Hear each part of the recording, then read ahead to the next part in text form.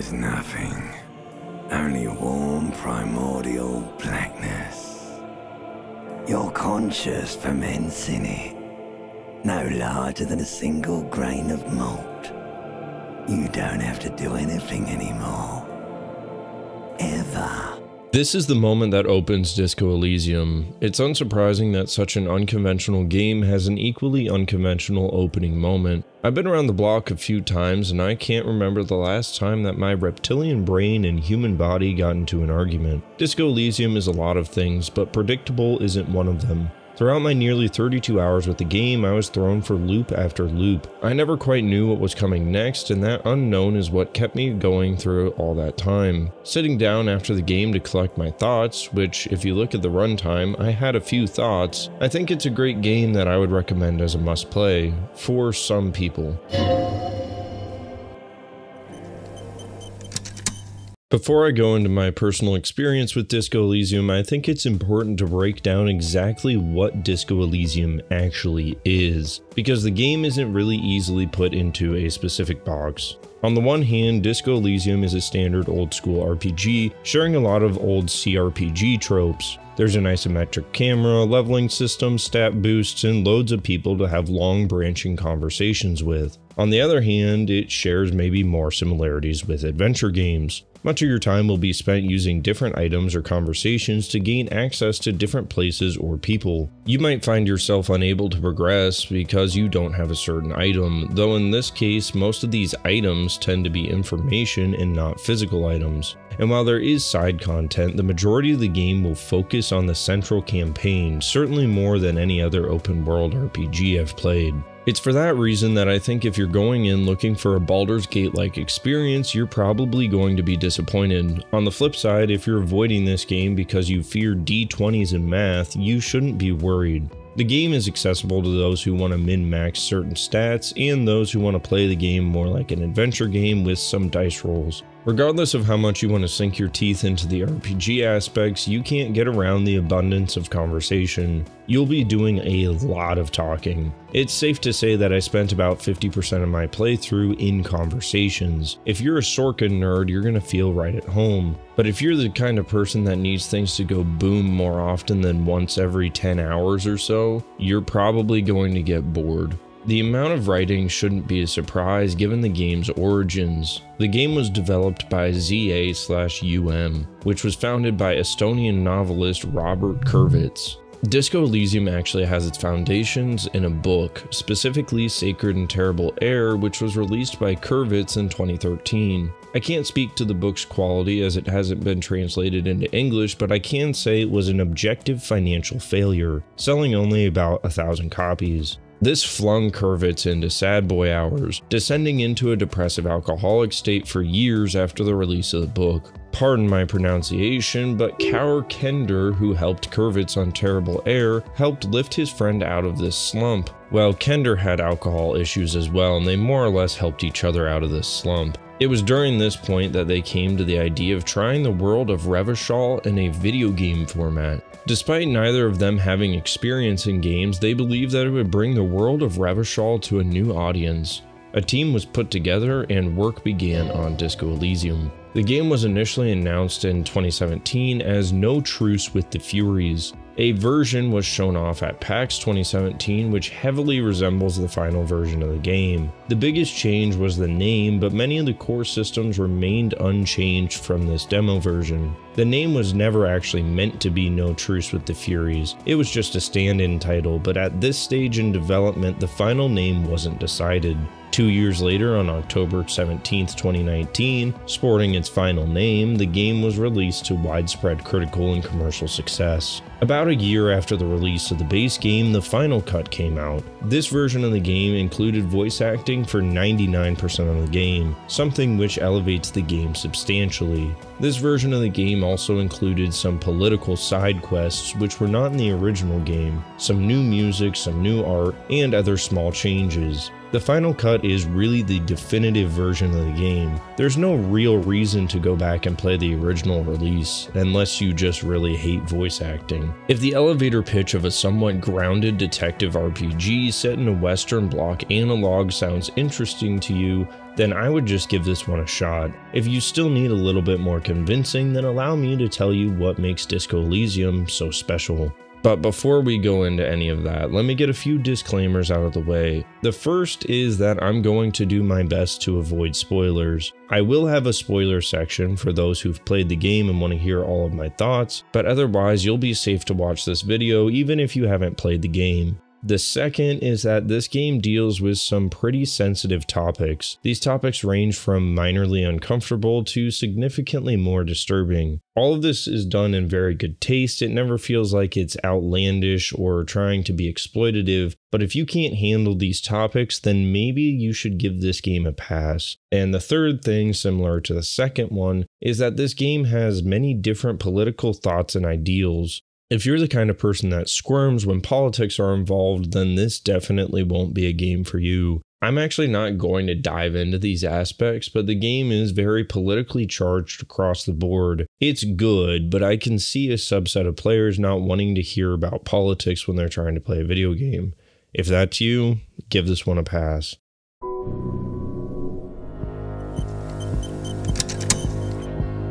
The game starts with, well, we've already established nothing.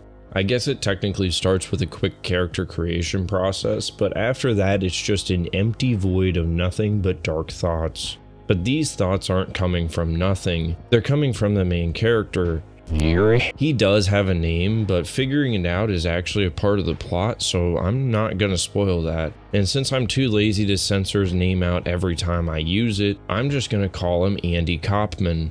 The game starts in his head, a dark void of Andy's inner thoughts, the complete garbled nonsense of a chronic substance abusing alcoholic, so it should come as no surprise that once the morning light pierces his eyes, he finds himself in a completely trashed room. Clothes are thrown everywhere, a bed is destroyed, and a stereo system is in greater disrepair. But none of these things are as ugly as the thing that he sees in the mirror, a grotesque amalgamation of the human form making an even more grotesque expression. At hour one, the man in the mirror is an enigma to both you and Andy, but by the end of the game, you'll both know and understand him on a deeper level, likely a little bit more than you would like to. This is the one way that Disco Elysium sets itself apart from a lot of other RPGs. Andy is a very much decidedly not blank slate. He's a pretty established character, but he's not too established. He's more established than the Dragonborn, but less established than Solid Snake. Even though every player is given the same starting point, we will all end up with very different looking and acting Andys by the time the game's over.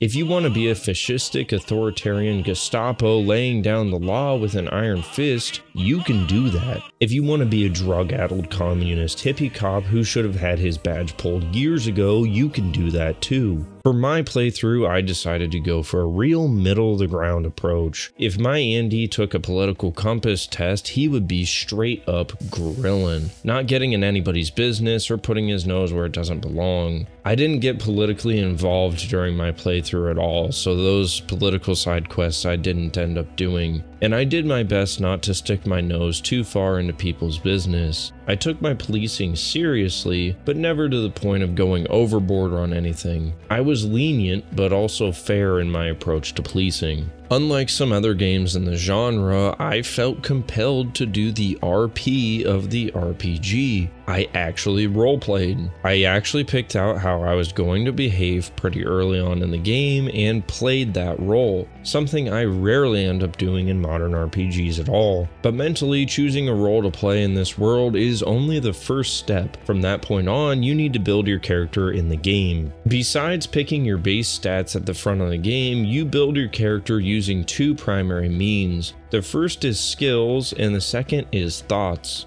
Skills is the more straightforward of these two systems, but it's a system that is very unique to this game. Some of these skills are easy to figure out and have clear direct advantages, others seem about as useful as a peephole on a glass door. Something like Shivers seems like it would offer no advantage whatsoever, but it actually has plenty of uses. I mean, ask Jacob Geller, he pretty much did a whole video about it. Skills like Perception give an immediate advantage, Andy is going to increase the amount of things that he can see, smell, and hear. He's going to become more receptive to the things around him, which is actually a pretty useful skill to have if you're a police officer. Then there's harder to understand ones like authority. This will bring up dialogue options with people to more or less show that you're the one in charge. Alternatively, if you're very much not in charge, your authority skill will let you know that despite your best intentions, you are not on the true Sigma male grind set. How these skills actually play out is the unique part of them. Most people have an inner monologue, but Andy has an inner dialogue, or trialogue, or whatever Oxfordian word for a conversation with six people at one time is. Sometimes Andy's just interacting with one skill, other times these skills interact with not just Andy but each other. There are moments in this game where Andy will be arguing with a character, while Andy's skills are arguing amongst themselves, and your thoughts as a living, breathing human being is arguing with what's happening on the screen. By the end of the game, Andy's going to be hearing more voices than John Nash. To add further complexity, these skills can become a hindrance when you max them out. I maxed out authority and it was useful, but it could also lead Andy to getting overly defensive anytime he thought somebody might be potentially challenging his authority. Hey, I'm a cop, and you will respect my authority. Yeah, right. You better get back to school, little boy. Likewise, perception can go from noticing fine details to being stuck in a complete sensory overload. Others aren't as bad. Encyclopedia can go from offering useful contextual knowledge about the characters in the world around you to being that one guy who always has the most didn't ask trivia. As an example, did you know that in 1922, Walter Mueller of the Pirates hit a home run on the first ball of his first at bat? He was the very first MLB player in history to do that. I bet you never knew that fun fact, and I bet you didn't want to know either. If you max out Encyclopedia, you'll be hearing all that kind of stuff except about Revachol. But that's not the only way that we can change these skills. The gear in Disco Elysium also has impacts on them as well. A silly hat might raise your drama skill but lower your authority skill because nobody can take you seriously. But gearing up and skilling out is only a part of the equation, the other part is your thoughts. Andy has a thought cabinet. Every time you level up, you can either strengthen a skill or put another thought into the cabinet. Once in the cabinet, Andy will put the thought in the back of his mind for a certain amount of time while he processes it. Once he's done processing it, he'll generally have new options available. This is where Andy's ideas and ideals really come from. Character defining traits like political affiliation, feelings about himself and others, or past relationships all come from these thoughts. From a roleplay perspective, these thoughts are important to building the lore around your specific version of Andy. These thoughts have immediate effects on your skills. While the thoughts are being processed, they can increase or decrease your skills. In their final state, they can change skill caps, raise or lower certain skills, and other things of that nature. Much like another kind of thought, you never really know what these thoughts are going to do, and that's kind of half the fun.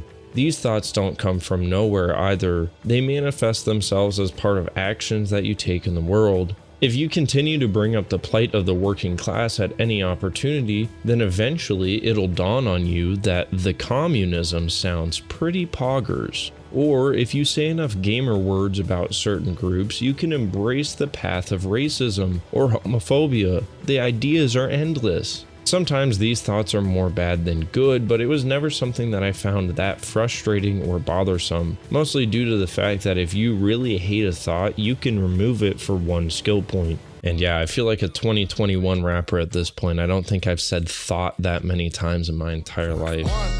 The gameplay reason that these skills and thoughts are useful is for the skill checks. Just like in a tabletop RPG, you'll find certain places that you need to roll the dice and hope for the best. The odds of these choices are shown to you, so it's never a mystery as to how likely a certain outcome is. Likewise, it lets you know what skill the action's going to use so you can buff that skill up to ensure the result that you want. Other things like tools can make certain jobs easier if you have the tool in your hand when you do the skill check.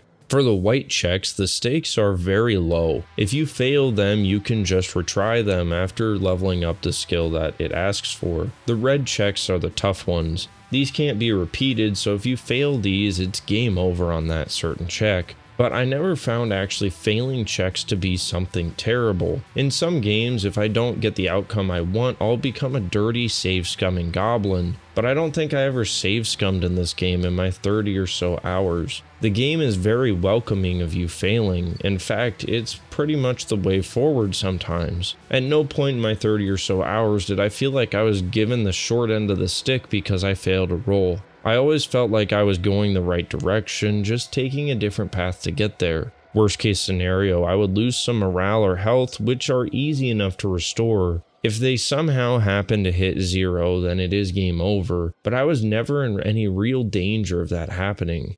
These checks are all stored in your quest log as well, which makes it extremely handy to look at what you can and can't do. I kept notes the entire time I played the game because I knew I was going to make a video about it, but even if I didn't, the in-game journal would have helped me stay on track. It tracks if you've tried certain checks at certain parts of the map. It also tracks things like what you need to be doing next and for who, as well as if a quest is going to take a long time and be more convoluted than normal. The quest log never outright solves a problem for you, but it makes it so you're never fighting against the game for not giving you enough information, or fighting against yourself for having a bad sense of memory. Since I took a break for like a week or so in the middle of the campaign, it was actually very helpful to look at the log and get back up to speed with what I was doing in the game. And while I do love these systems and how they interact with each other, I do have a few gripes with the gameplay. The first could be my own playstyle holding me back, but I really wish there was some more combat.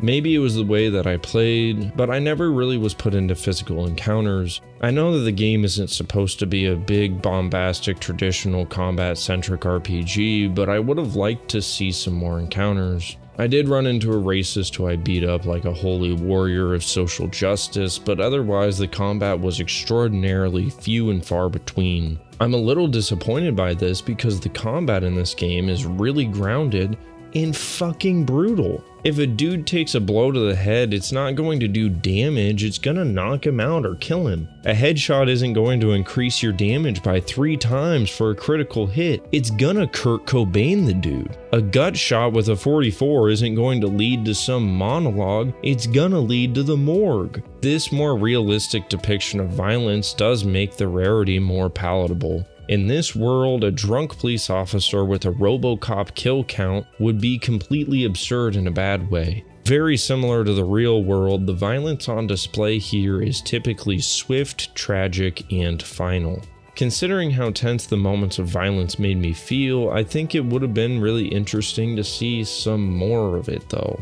They could have included a few more combat encounters without completely destroying the narrative or realism of the world. One of the issues that comes up though is it could make the game way harder, as any armed combat in this game is decidedly lethal. Some more optional lethal encounters would have been interesting, and if they were to make a sequel, it's something I'd like to see. And don't get it twisted, I don't want to play this game as the cop from fucking Narc or something, but I also think that more tense life or death moments would have been nice. Not every game needs combat, but I feel like it would have broken up the gameplay very nicely. My other complaint with the gameplay is the size of the world. I didn't expect the game to be the size of New York City, and it probably would have been a lot weaker if it were that big, but this map is really small. I kept expecting to unlock more areas, maybe travel with Kim to Jamrock or any of the other named locations that continue to come up in conversation. This just isn't the case. As the whole game takes place in a very small handful of environments, the environments themselves are very fleshed out with a lot to notice and explore, but by hour 15 in the game, you aren't really exploring anywhere new. And that's about the halfway point, so it kind of drags the game down a little bit.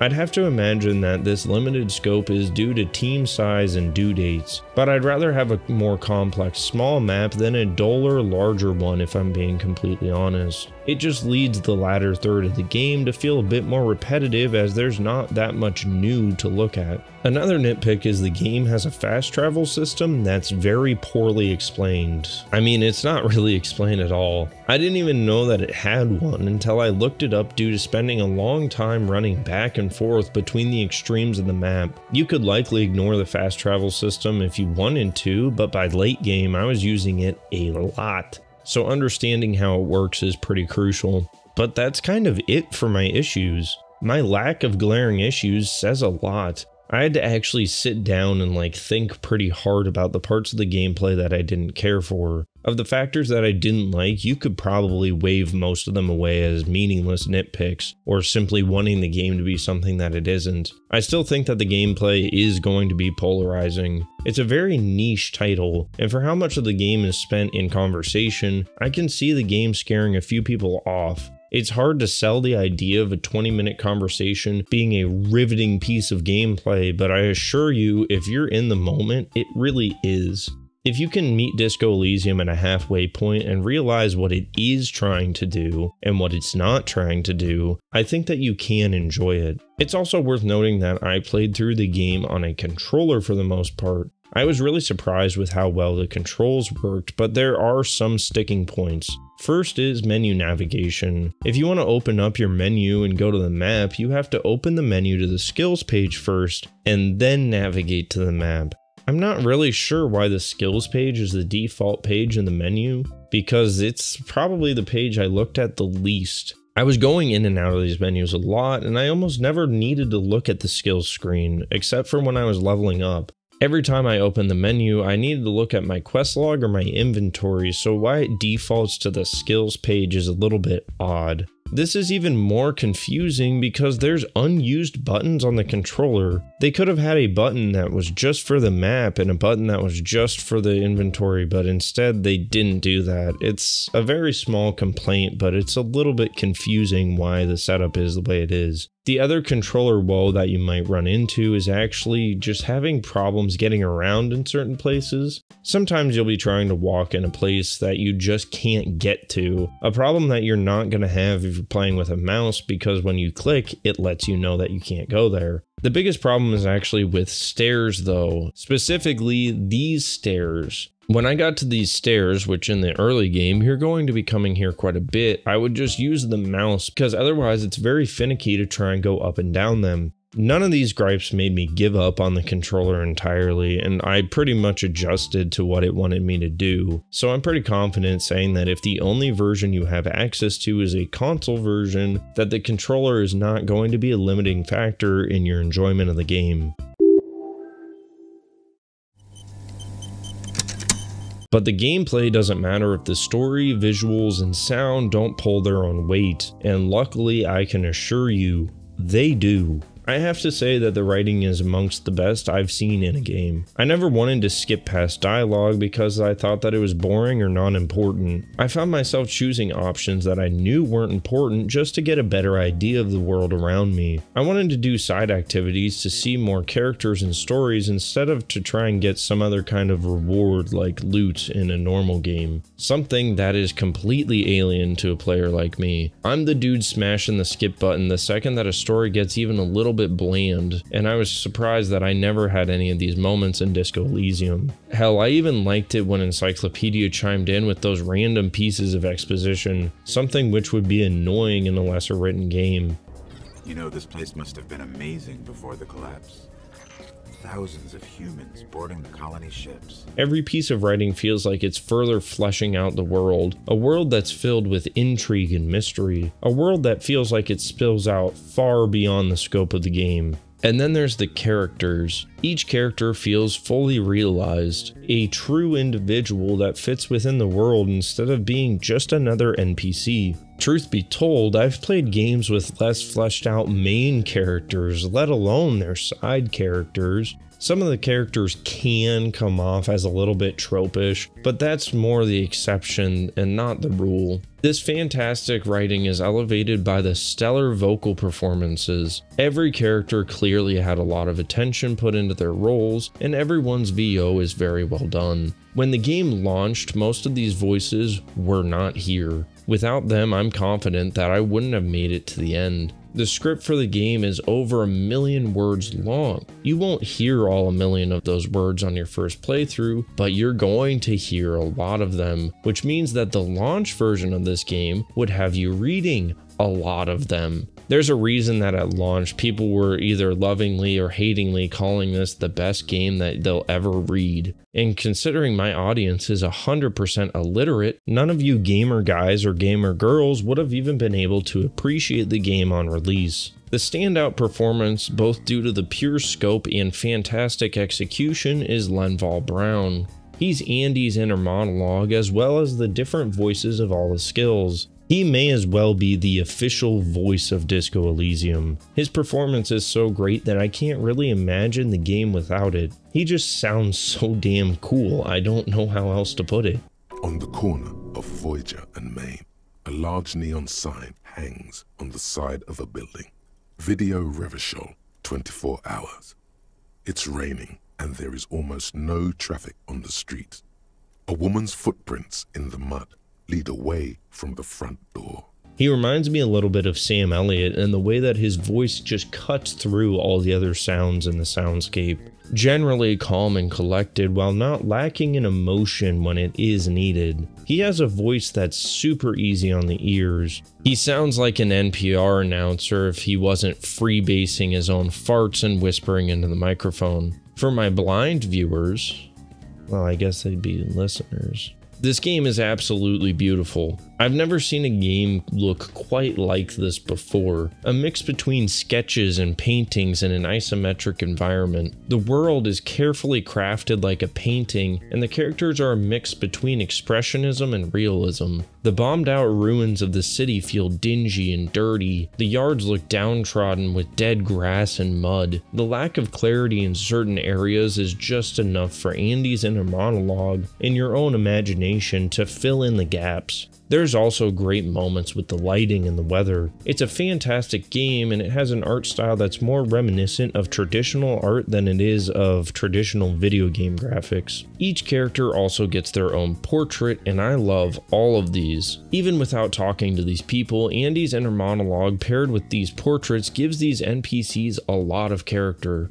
Each of these skills get their own portrait, and while some of these are easy to figure out, some of them are so abstract it's hard to even tell what they were supposed to be. Even without knowing what the hell this thing is, I'm getting the feeling that it's supposed to convey pain. I'll go full English teacher about this kind of stuff in the spoilers section, but I love each of these portraits for their own special reasons and uniqueness. But like the gameplay, I do have some minor issues with the presentation and the story. There's some minor nitpicks, like sometimes the VO is different than the text on the screen, or it's outright missing. Not ever enough to become a pattern, which makes it a little bit more jarring when it does happen. It's a super small nitpick, but it is something that I noticed. Another nitpick is likely down to more personal taste issues, and that's that I wasn't really crazy about the music. To be clear, this isn't because the music that's in the game is bad, rather, I found the usage to be lacking. I swore that the soundtrack was only one song for a long time because it's repeated constantly when you're outside, especially in the early game.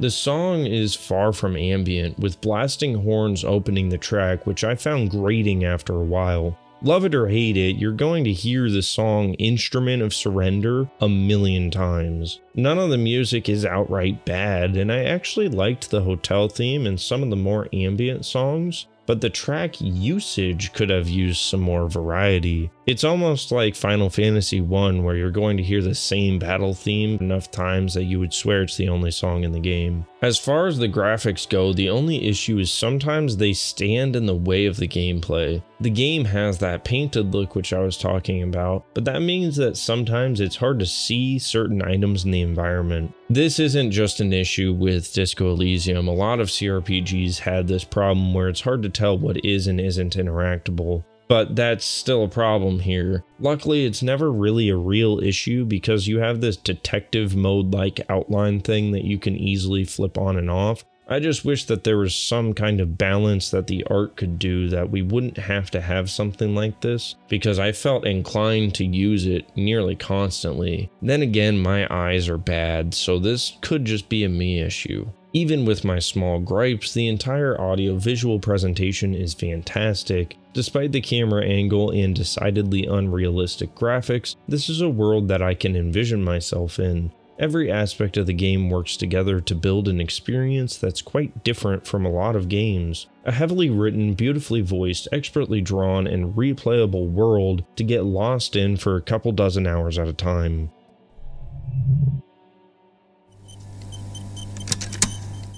Okay, so I want to talk about some stuff that's going to be a little bit more in the spoiler zone now. I'm not going to spoil the end of the game explicitly in this video, but I am going to be talking around it. If you already know the game isn't for you, have already played the game, or just don't care about spoilers, you can stick around. Otherwise, you should skip to this timestamp. The game is best if you go in as blind as possible, so you've been warned. Alright, let's get into it.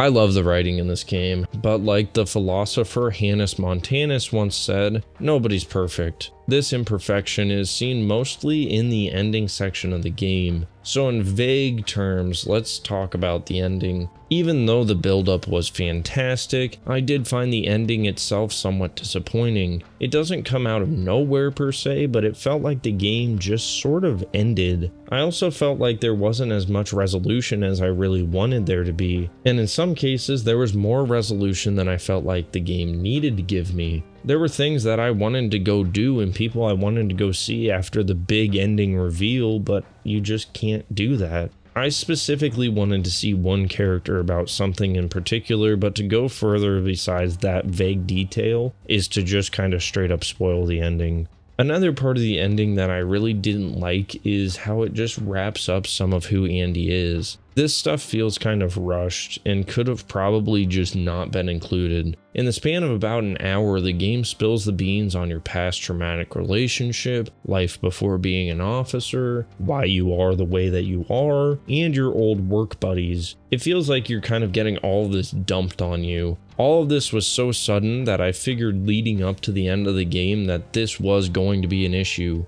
And I was actually pretty sure that they were going to leave some parts of Andy as a complete mystery, and in a certain way, I think they maybe should have. I figured they were going to hit on the past relationship thing because it is a consistent thread throughout the game, but after that, I would have been happy with them leaving some of Andy's background as more of a secret. Like, I'm glad we got all this information, but I'm just a little conflicted about it. Some of this is because the information itself I didn't find to be satisfying, and some of this is because of the way that it was delivered. Truth be told, I wasn't invested in Andy's past by the time the game started to wrap up. I wanted to know who the woman that broke our boy was, but that was about it. His amnesia, old workmates, old jobs, old lives, I didn't need any of that resolution. And considering the way that it was done, it probably would have been a little better if we didn't get that resolution. They could have left the door open to all that stuff, and I would have maybe liked this ending a little bit more. It probably doesn't help that all of this is seriously dumped on you at the end. The game locks you into about an hour and a half of conversations, and even though I love these conversations and I don't have an issue with them, it's just too much at one time. I get that they wanted to wrap all this stuff up, but I feel like they could have done it in a better way. They could have like sprinkled some of these reveals throughout the game instead of throwing all of it at the very end. Another sticking point that people might have about the end is that you have no impact on it. Inevitability is a legitimate theme of the game, and the narrative plays with the idea that things are set in stone and can't be changed. You could say that that goes a little bit at odds with how you can make your character whatever you want it to be, but I think that this inevitability of the ending is somewhat of an artistic choice. As far as development goes, it's a smaller team. I can't imagine them trying to spread out across multiple endings. It would have made each ending probably a weaker experience. While I have yet to go back through for a second playthrough, I've been told that the main campaign plays out the same way every single time. The killer doesn't change, where they're at doesn't change, how you get to there doesn't change, who's the victim and their relationship doesn't change, and honestly, that's fine by me. I can see how some people really wouldn't like this, but it doesn't bother me at all. But because of this lack of effect on the world, it's why I've kind of referred to it closer to an adventure game than a traditional RPG. But this game gives you a great illusion of choice, and I never felt like I was being pushed along by an invisible hand to progress the game forward or in a certain way. And there is still plenty of choice, which does have an impact on the game. Your choices are never just going to impact the main story directly. The best analogy that I can think of is that the game is a road trip with stops along the way. How you get from stop to stop is more or less up to you, but no matter how you drive, you're always going to end up at certain stops. With all of that out of the way, let me go full English teacher reading too far into dumb shit mode. I'm specifically going to go first year art student huffing his own farts mode on the character portraits. As I said earlier, these portraits can tell you pretty much everything about a character in just a quick glance. Evrart Claire is a complete slime ball without an honest bone in his body. His portrait is a sufficiently slimy creature, reminding me of a mix between Roz and Randall from Monsters Inc. He looks more like a slug than a man, a spineless, grotesque representation of corrupt power. And you don't actually need to interact with him for all that long to realize that your initial thoughts from looking at this portrait are all correct. Kim's portrait is the exact opposite. He sits with stark features, a fully realized man set in stone in his role. He has an actual halo around him in his portrait. And while he's not a deity in any traditional sense, he is more or less the savior to Andy. Without Kim, Andy would be dead at the end of a bottle or at the end of a gun, be it his own or somebody else's. He's not a perfect man, but he really does represent a beam of light throughout an otherwise very dark and oppressive world. I really liked Kim because he's just a good man. He, in many ways, is Andy's polar opposite. There's a moment where the two are hanging out on a swing set. Andy slowly starts coming to a very terrible realization about something that he's done. Kim handles the situation, calmly trying to let Andy realize what he's done. Kim can come off as cold and calculating, but as the story goes on, it's clear he has a lot of love for Andy. Although, knowing Kim, he would try and brush off this love as just having him as a workmate or having pity for him, but it's clear that he very much cares for Andy. Other characters require a more artsy look at them. Egghead is a rave character who's obsessed with being the most hardcore. His portrait looks like a man who is succumbing to the most insane drug high of his entire life, with the lines between where his skull ends and the rave lights begin blurring. While to us it just sounds like music, to Egghead it's a truly mind-blowing experience, and his portrait shows this drug-enhanced moment of musical ecstasy perfectly. But my favorite portraits are Rosemary, Don't Call Abigail, and Idiot Doom Spiral. These three dudes are certified drunks. All they do all day and night is drink in the most rundown part of the city, which is saying quite a bit for a city that's mostly bombed out buildings. Each of their portraits has an interesting similarity to Egghead. The line between the background and themselves is blurred. Idiot Doom Spiral in particular has half of his face blending into the background, while the red backdrop of the background bleeds onto his jacket.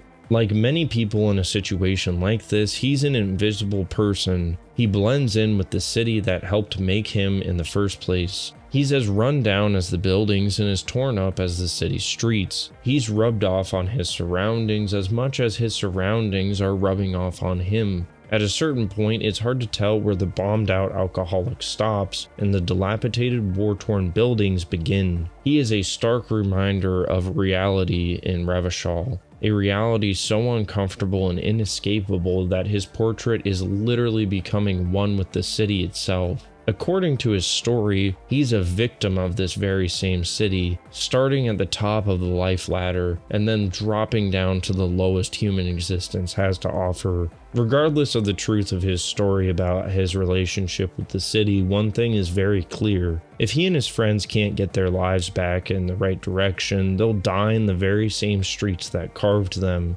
becoming just as lifeless and desecrated as the buildings that they momentarily are calling home. Jesus Christ, that got dark and artsy. Let's start to wrap up this video before I get people popping antidepressants.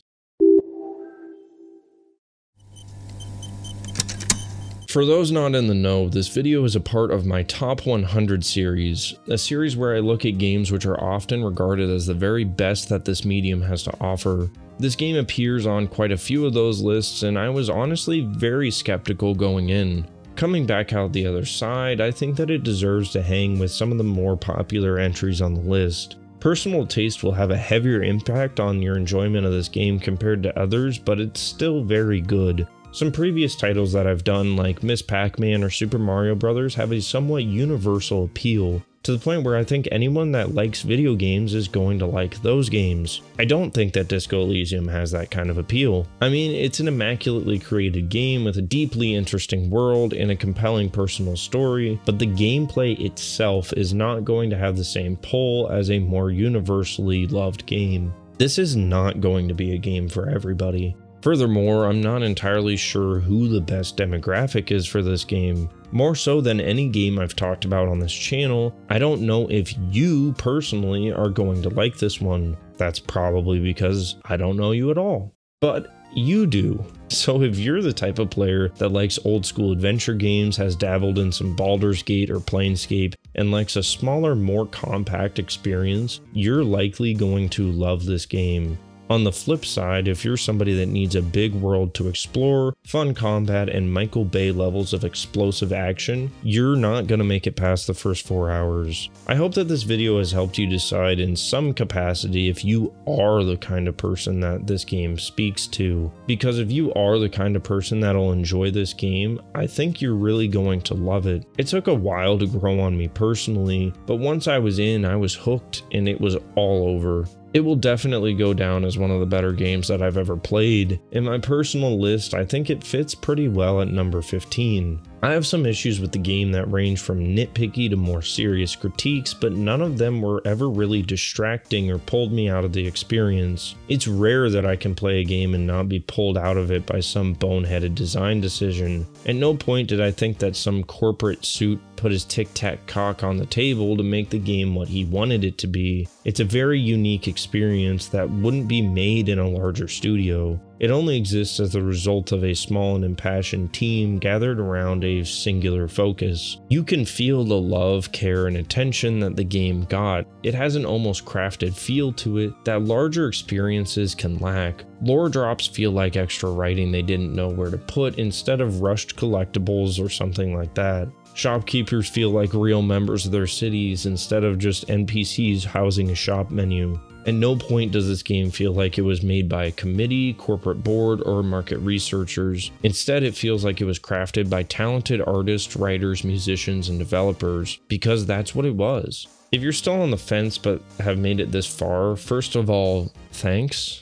Like, my writing is ass and my voice is grating, so I'll assume that you fell asleep at some point during this video. But if you're awake and hearing me, just get the game already, dude. It's available on pretty much everything at this point, and frequently has pretty routine discounts on PC. I can't speak to the console's stability because I didn't play it there. Controls should be fine as I mentioned earlier, but performance seems a little bit wobbly on some of these versions. The Switch version in particular seems to have some issues at the moment. It's pretty close to launch at this point though, so they might get patched out at a different time. And to think I was going to try and get this video out in time for that release for that sweet, sweet search term relevance. Yeah, that didn't work at all. The content between all the versions of the game is the exact same, so before you get the game on your console of choice, just be sure to check how it runs. Frame rate isn't super important in a game like this, but I can tell you that performance like this would make me quit before I even gave the game a shot. If you do give it a shot, give it a few hours to actually sink in. I didn't really get super engrossed into it until about the second in-game day. So if you're not hooked after day one, give it just a little bit more time. If it's your very first go in the game, I'm a little bit envious. That first playthrough really will stick with me for quite a while, and I hope you'll find it as engrossing as I did. But if this doesn't look like your cup of tea, I would say that you know better than I do. It's not hiding anything up its sleeve, so don't expect it to be something it's not. It doesn't turn into a big action shooting game with tons of loot at certain points. It's very much the same game all the way through. If you're in the latter group, hopefully the next game I will have will be a little bit more interesting to you than this one. But until that point, I'll see you guys in the next one.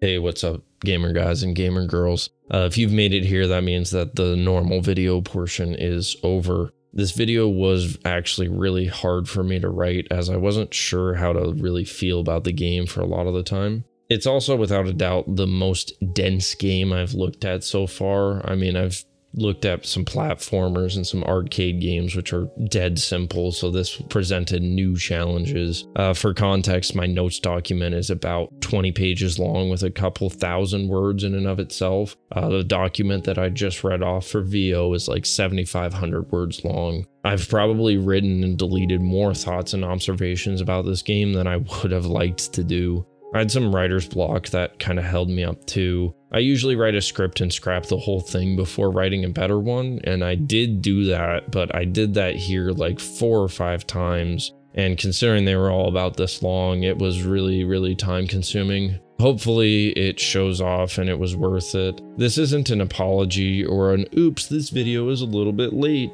It's just pulling back the curtain a little bit into my processes. I'm still learning how to do any of this stuff. I, I, I've never done anything like this, so it's a learning experience for me. I think I have some ways to make the process easier for when I take a look at a game this big again, but in the meantime, yeah, this video was kind of a nightmare. I plan on probably doing a shorter video for my next one, at least something that takes less time to produce than this. The worst part about all of this is that I still feel like I could probably talk about Disco Elysium more than I did here. Um, and maybe I will down the line when I'm better at writing, editing, and recording. But until that day, uh, you can consider my thoughts here as their own kind of final cut. Lastly, I wanted to thank you guys for the support on the Ultra Kill video. Without that video, this channel probably would be completely dead, and I never expected that video to blow up the way that it has. As of writing this video, that video is at like a thousand views, which is just surreal if I'm being completely honest. I know that my tagline is jokingly too many views, but I don't even know a thousand people in real life, so seeing the success like that is kind of surreal. It also gives me a target to try and beat someday, so I hope that I can have a video hit those kind of numbers at some point, but we'll see if I ever get there